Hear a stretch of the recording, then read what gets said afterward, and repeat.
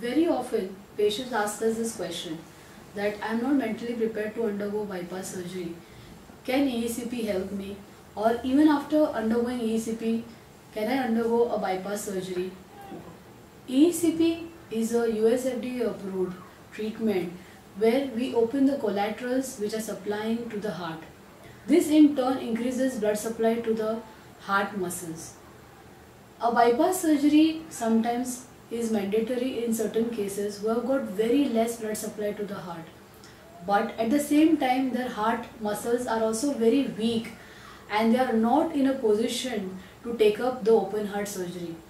In such cases, surgeons nowadays are using EECP therapy to improve the blood supply to the coronary uh, muscles and once the pumping of the heart that is the ejection fraction becomes better then they undertake them for bypass surgery.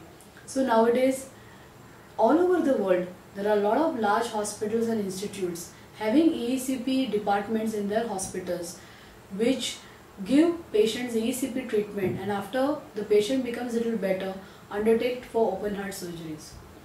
And there are thallium scan studies also which have proven that just in 5 to 10 sittings also there is a good improvement in the circulation of blood to the heart muscles. So yes, it is very much possible to undertake EECP therapy and after that go for bypass surgery.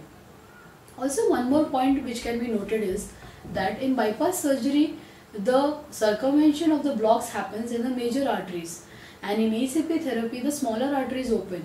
So there is no duplication of work which is going on. In fact, EECP enhances what is going on in the heart treatment and the success rate of bypass surgery is better after the EECP treatment. So one definitely can undertake a EECP treatment before going for bypass surgery.